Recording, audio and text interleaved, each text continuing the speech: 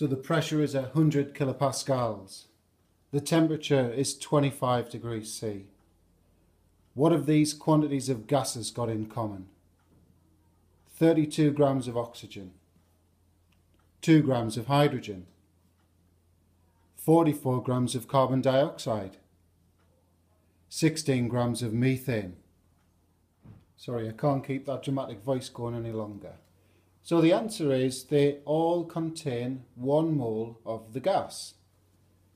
So 32 grams of oxygen, well that's the MR of O2, 216s, That's one mole of O2. That's one mole of H2. That's one mole of CO2. And that's one mole of CH4.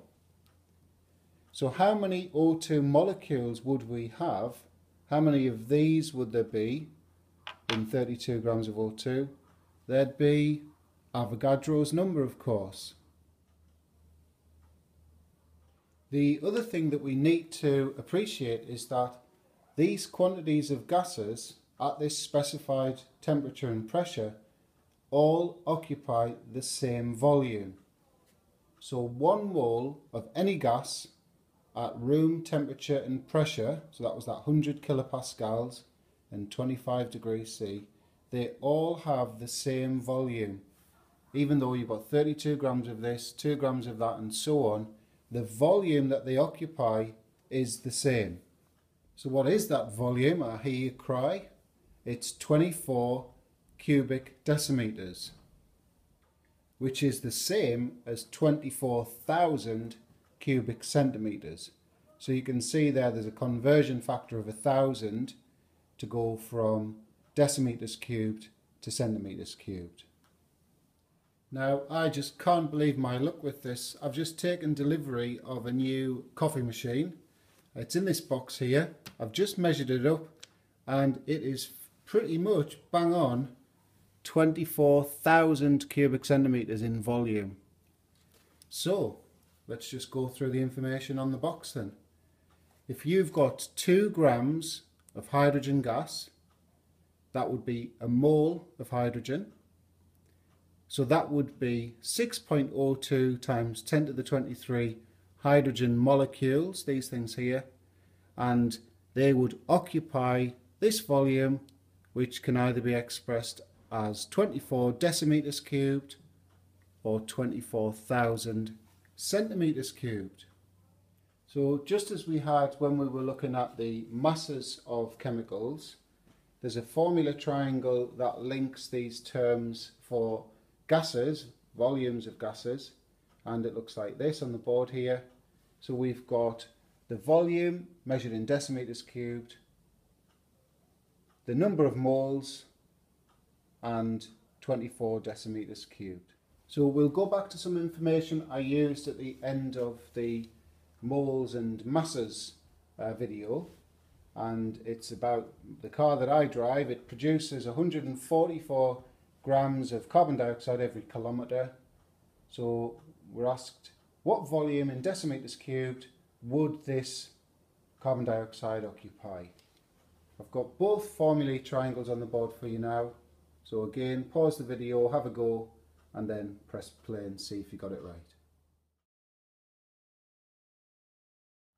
So the first thing that we need to do is we need to calculate how many moles of carbon dioxide that 144 grams equates to. And to do this we need the mass triangle.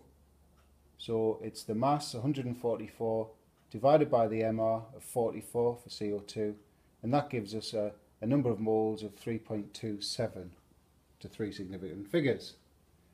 So that's going to feed into this triangle now and we're going to work out what that volume would be in decimeters cubed. So to convert that to volume we feed in the number of moles and we multiply by 24, you can see that there, and that comes out at 78.5 cubic decimeters to three significant figures.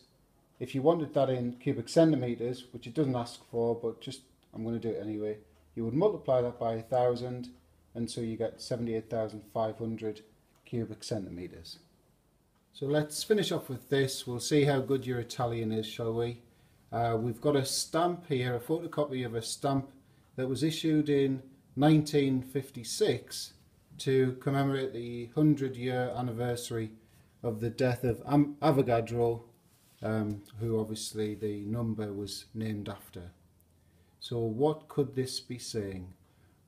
Let's have a go at saying it. Apologies to any Italians out there who, who disagree with my pronunciation.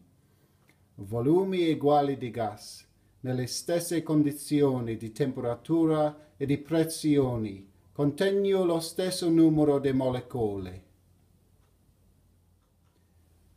It says equal volumes of gas at the same conditions of temperature and pressure contain the same number of molecules.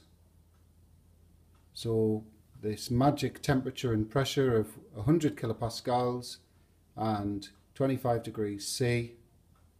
If we've got equal volumes, doesn't matter what the gas is, so 24 dm cubed of CO2, 24 dm cubed of H2, 24 dm cubed of O2, 24 dm cubed of CH4, we would have Avogadro's number of each molecule present.